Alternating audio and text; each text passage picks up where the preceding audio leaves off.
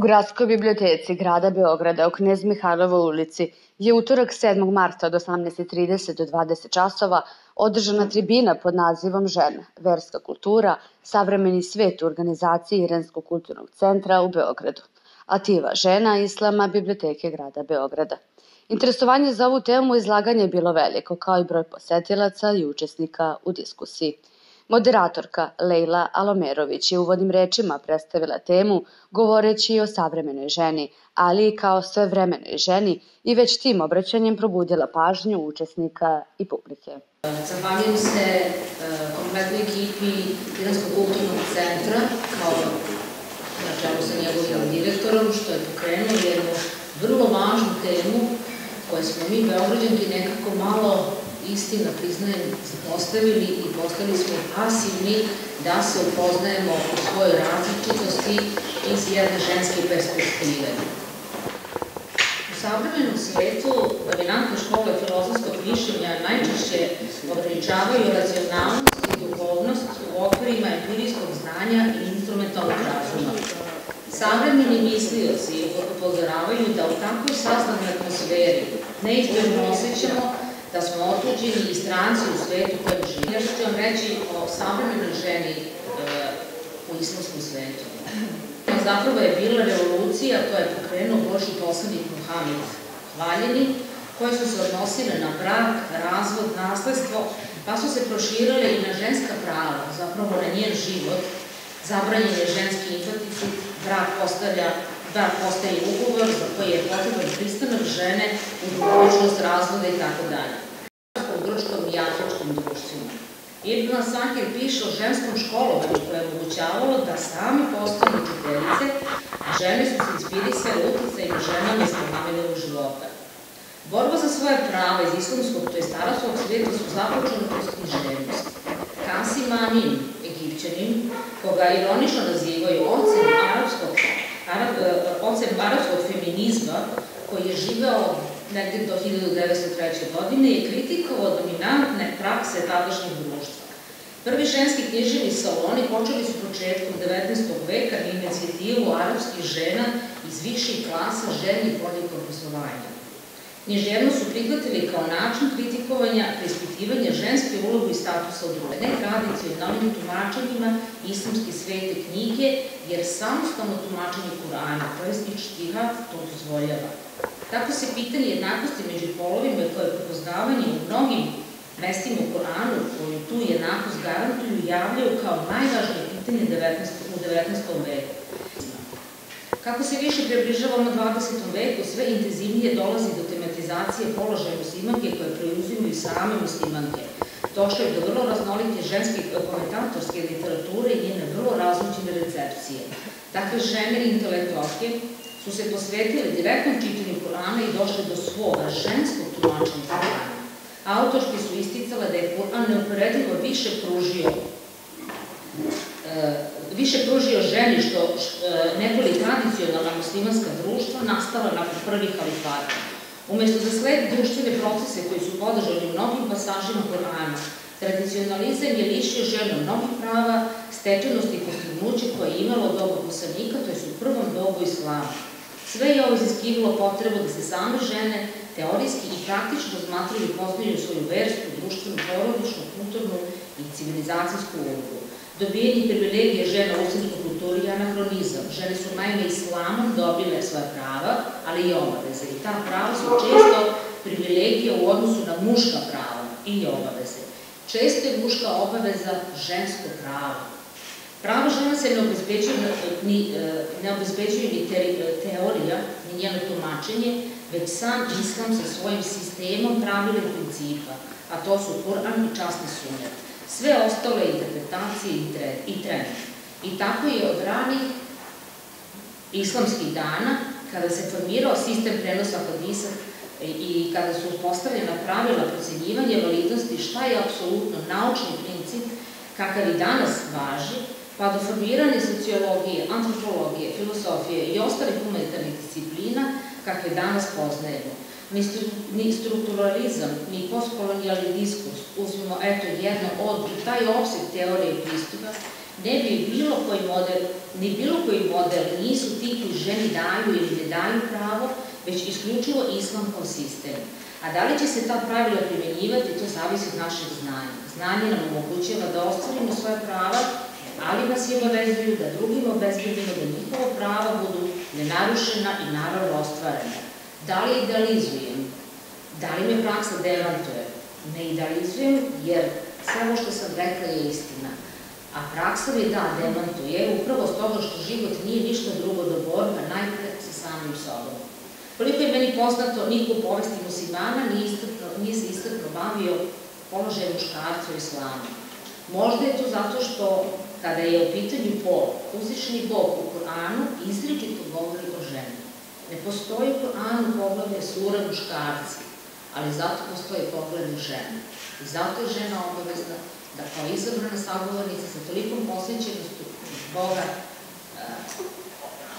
stupi stupi u razgovor sa Bogom i da sama počne da traga za riznicama koje je Bog ostavio. Drugo obraćanje bilo je učesnice Mune Jusif Spahić, islamskog teologa koja je govorila o ženi u islamu, o ranim društvenim reformama i njenim pravima i otvorila time mnoge druge teme, istorijske uvide i preglede, što je dodatno bilo inspirativno za pitanje, diskusiju i nakon tribine. Večerašnja tema jeste žena.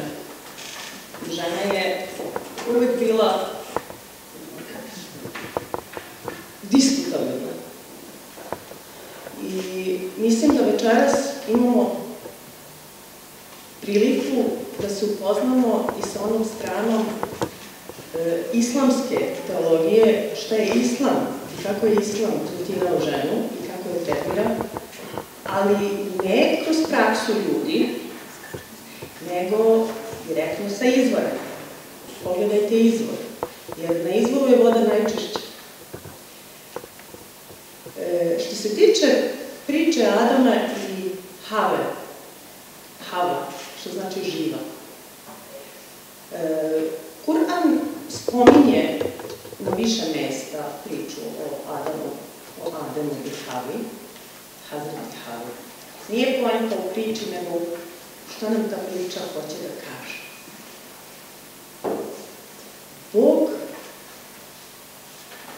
kada je stvorio Adema. Kada je osetio samoću, dao mu je drugu. Pa gospod kaže u prvom ajtu, prvi citat u suri žene, to je četvrto poglavlje. Kaže, o ljudi, bojte se gospodara, koji je stvorio čoveka I od njega je stvorio njegovu drugu. Znači, ona je stvorena od samog Adema. Poenta priče je sledeća. Kada kažemo naši praroditelji, i mi kada pričamo o Ademu i Havi, mi pričamo kao to su ta dva čoveka koja su živjela naši praroditelji. Istina je da to nije njihova priča. To je naša priča. To je priča svakog od nas. Jer iz te priče trebamo da naučimo sledeće stvari. Da čovek u životu prolazi kroz te vode, kroz borbu. I da nikad ne treba da očajava kada pogreši, kao što je Adem pogrešio, da odmah treba da se pokaje. Kao što se Adem pokajao i Hava. Učimo da greh je individualna stvar. Ja ne nosim greh ni moga oca, pokojno, niti moje majke.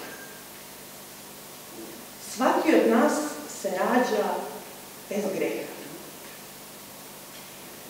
stvar koju učimo isto iz te priče, kada je gospodar rekao Ja Adamu يا آدم اسكن أنت وزوجك الجنة وكلا منها حيث شئتما رغدا حيث شئتما ولا تقربا هذه الشجرة فتكونا من الظالمين Sura Bekare, što znači krala, to je drugo poglavlje u Kur'anu, opisuje da je Bog gospodar je naredio njima i Adamu i Havi da žive u raju. Živite kako god hoćete. Jedite, pijte koliko god želite. Ali nemojte se približavati, ne, nemojte da jedete se toga. Evo, nemoj ni da se približeš tom drvetu, jer ćete da budete nepravedni. Zar to nismo mi? Mi sad kažemo to su Adam i Hava, Adam i Hava, to je priča. Nije to priča, to je priča naša. I nama je Bog dao ovu zemlju, prostranu, dao nam je plodove, dao nam je da jedemo, da pijemo. Ne, nije čak ni stavljao granicu, granicu smo mi stavljali. Granice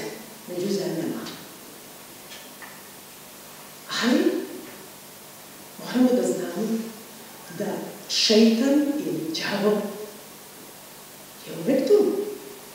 فأزلهما الشيطان عنها فأخرجهما مما كان فيه, kaže Bog.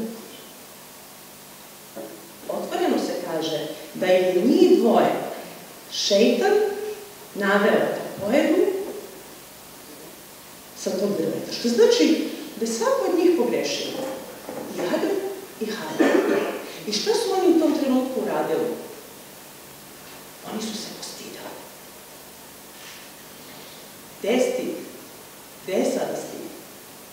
To, je neko prirodno ljudska osobina. U islamu se kaže da je stid pola vere. Kad nam se ono za crvene obraze. To je dokaz, to je jedan od moralnih dokaza za postojanje Boga. Moralni dokaz da Bog postoji je stid. Oni su se pokajali.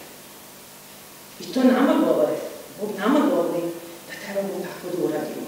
Što znači, ljudska osobina jeste da greši. To je osobina svih ljudi. Nije Bog nas stvorio anđelima. Ljudski je pogrešiti, ali je ljudski i da se pokajemo. Bog nas uči kroz Adama kako treba da se pokajemo. I to nas je podučio. Kala ربنا ظلمنا أنفسنا وإن لم تغفر لنا وترحمنا لنكونن من الخاسرين قال kaže Bog njih dvoje to je dvojina oboje su rekli gospodar mi smo nepravdu prema sebi učinili nisu oni nepravdu učinili prema Bogu Bog Bog ne treba ništa. Kada grešimo, mi činimo nepravdu sebi. I onda su potražili, znači priznali su greh. Pa su onda potražili od Boga da im oprosti. Jer ako nas ti Bože, ako nam ti Bože ne oprostiš, bit ćemo hasirin, što znači gubitnici. Svakako ova priča uliva nadu. Uči nas da uvek postoji nada. I otvorila time mnoge druge teme, istorijske uvide i preglede, što je dodatno bilo inspirativno za pitanje i diskusiju i nakon tribine. Sledeća učesnica Hoda Halilović je doktorant filoloških nauka. Skrenula je posebnu pažnju temom sakralna umetnost i savremeni svet. Uputila je uz detaljniji pregled koliko je vreme dozvolila osvetlila neke pozicije, poglede i preglede i pozvala učesnike da po završetku tribinskog programa pogledaju njene odabrane radove i kaligrafije koje su potpunile njeno obraćanje. Ključni element islamske sakralne umetnosti jeste jedinstvo. Jedinstvo ovde primarno e, manifestuje princip Božjeg jedinstva i ontološku bit posebnog islamskog pogleda na univerzum. Muslimanski umetnik u svetlu takvog ontološkog pogleda stvara umetničko delo sa ciljem da u da njemu razotkrije tako sebi e, i kako sebi, tako i drugim ljudima, uzvišenu lepotu Božijeg bića. Pritom, on dobro zna da u svom umetničkom delovanju nije samostalan, već zavisi od Božije milosti i deluje kao manifestacija Božih, moći stvaranja.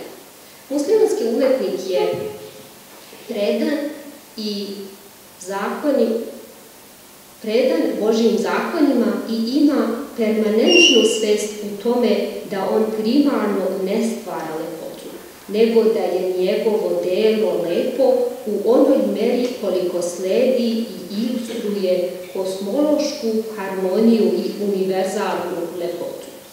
U islamskim sakralnim tekstovima, a posebno u molitvama, mnogostruko se insistira na značaju lepote, Božje emanacije, svetlost, svetlosti i veličanstva Božjih imena i atributa. Takve prefinjene poruke nužno inspirišu muslimanske umetnike i oni ih maestralno prikazuju u svojim različitim disciplinama islamske umetnosti.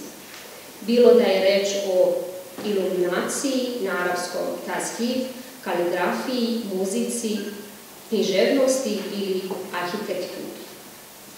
Otuda nekako gleda, čita ili sluša plodove islamske umetnosti, prirodno se usmerava ka uzvišenim sve, svetovima i ponovo se prisjeća čovekovog primordijalnog za, zaveta Bogu. Ovaj osjećaj je nekada toliko intenzivan da nas obuzima su, subtilna tuga zbog toga što smo otuđeni i odvojeni od svog korena i iskonskog doma. Tada čujemo pesmu svoje duše koja nakon rastanka čezne da se vrati u domovinu i upravo je to pesma Naja koja ukrašava početak markantne masnavije Meulana Rumija. Slušaj ovaj naj što priča kazuje. Na rastanke on se žali, tuguje. E, u persijskom izvorniku čitamo Višno az nej čunhe kao jac mikona, az džudo i hao še kao jac mikona. Skoro svi muslimanski pesnici sa mističkom orijentacijom spominju u svojim izvanrednim delima ovu priču o rastanku i domovini. O tome pišu Avecena u Kasidi Ajnija, Mevlana, Atar, Džami, Šavestari i Hafiz Širaz. Osnova misija islamske umetnosti ogleda se u želji umetnika da probudi čoveka iz sna namera, nemara i da ne dopusti da se u njegovom biću ugasi svetlost onog primordijalnog sveta.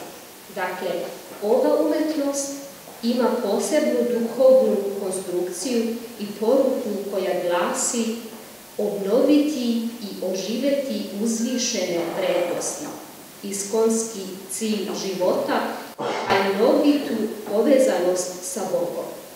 U vremenima kada istinske vrednosti izumiru i kada nametljivi materializam podržava ekskluzivnu ulogu koristi, profita i kapitala. Učesnica Danijela Marković, teolog i religiolog, je sa odabirom naslova svog izlaganja Adam i žena mu tradicionalizam i modernizam već zaintrigirala javnost i publiku kao i svoje sagovornice. U izlaganju je predstavljen koncept Adama kao tradicionalizma i žene mu kao modernizma.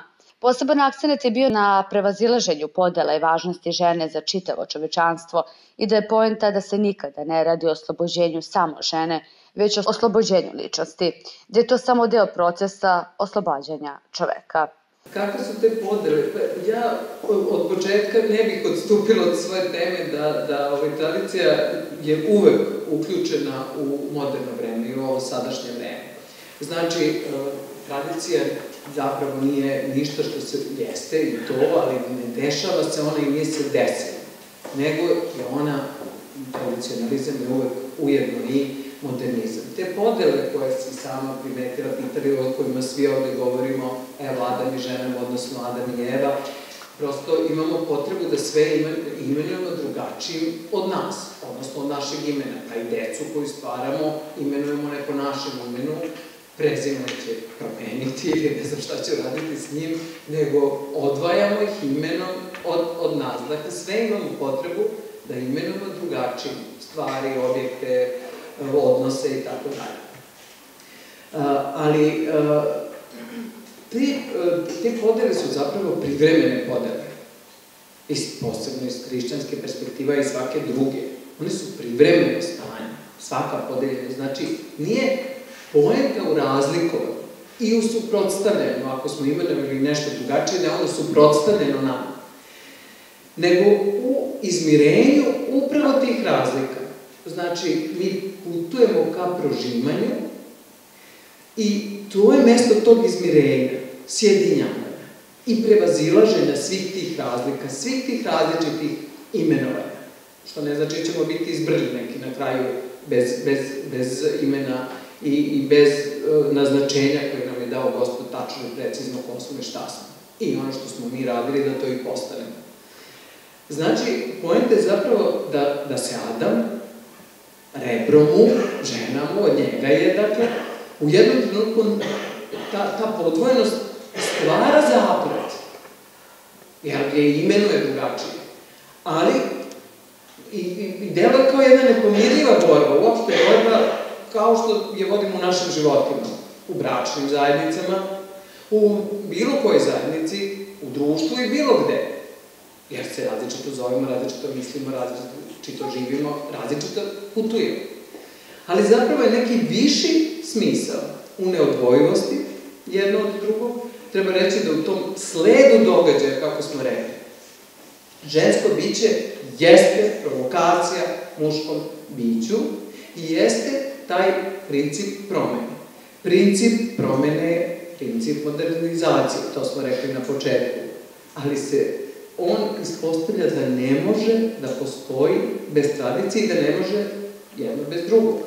Da se to stalno prepreće i istorijski, što u knjizi postanja naznačeno, a ja i kasnije sam pomenula Bodrijara koji je živeo i umro u 21. veku.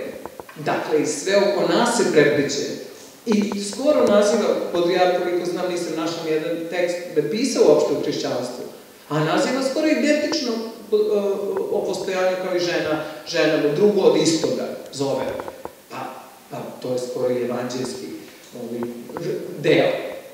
Dakle, to prepetanje konstantno istorije i svega što, što, što nam se dešava, to, to nije neko, to je trenutno stanje. Da, da se oslobodimo te prese, još mi je jedna zanimljiva i evo ovde smo se šalili pre nego što smo započeli čitavu ovu diskusiju, kod Odrijare sam recimo to pronašla, o njegovi mislima o šali, odnosno o dvosmislenosti. I o, to je relaksiralo i nas dok smo ovo pripremali i o, nekako kad se našalimo, ta tenzija ukupna splasne, oslušnemo drugog na drugačiji način, oslobodimo se onog jednog konstantnog pravca, ukopanog, zaoranog, nepokolebljivog nego oslušnemo kao ono srce, radi srca, pa, pa krene ta neka dimenzija, krene neki impuls i pomerimo se. To učini ta, ta dvosmislenost i razgovore, i šale, i to mi je bilo interesantno i za ovu temu, ukupno neke uh, dvosmislenosti. Ono što je Lejla rekla i hvala ti na tome, to jest, postoje podele i one su podela, svaka je veštačka podela. Čim svoje svesti, mi znamo da je to veštački napravljena podela. Podvaju se po raznim osnovama. Evo, mi smo tek na ovom podneblju, ali ej, ne umem više da uh, nabrojim podneblje koje, koji nije sa incidentima po podvojenosti, po nacionalnom, polnom, verskom i ko zna kakvim sve drugim dalje. Ono, evo, pokušavam da nešto ne propustim, ali uvek je ta od podele važnije to sjedinjavanje i važnije od bilo kakvih naznačenja razjedinjavanja i različitosti. Bilo kakvih. Pa tako i žensko pitanje, podlačim posebno u sutrašnjih praznika, ono nije pitanje a da nije opšte ljudsko pitanje. Dakle, žena nije potrebna samo i sebi, samo aktivima, samo udruženjima. Ona je potrebna čovečanstvu, ona je potreba ljudskom rodu, potrebna je ljudskoj ličnosti i onda je to potpuno opravdan, recimo to ne samo u liturgiji, neću ovde i da navodim, naravno nemamo vremena, opet podlačimo to, šta da govorimo o Bogorodici? Znači, da li veću poruku može da da i hrišćanstvo, nego i za Boga čoveka je potrebno, i za njegovo rađanje je potrebna žena. E, mišljenja sam evo iz ovog našeg razgovora da znanje nije, nije to koji nama donosi oslobađanje, da treba i mi da se oslobodimo od te presije da sve mi saznamo i sve mi znamo. Najveći mudraci, najveći proroci, uh, svetitelji, duhovnici uh, su bili oslobodni, saznali puno, ali u tom saznavanju toga te punoće shvatili su koliko, ne znam, da li je to Jaspersova, ne znam čija ideja koja je rekao, potrebno nam je znanje, kako je rekao, učimo ne zbog znanja, već zbog neznanja. To je onaj krug što smo učili u srednjoj školi, što se povećava znanje, to se i naše neznanje još više povećava. Treba da se oslobodimo te tenzije, da sve saznamo i sve znamo i sve objasnimo. I u toj nekoj skrušenosti svojoj, ali ne da je nazovem sada kolokvijalnom litavi, nego ovako u ophođenju jedni s drugima i naravno to, to nije neznanje ili čutanje nekog ko je potpuno nezainteresovan za, ili kako je Muna ovde rekla, da li vreme, depresije i ostalo. To nisu ista, to nije ista ravnodušnost, da kažem, mudraca koji sve zna i u jednoj rečenici vam poruči nešto ili, uh, ili nekog ko, ko, koga ne zanima ništa.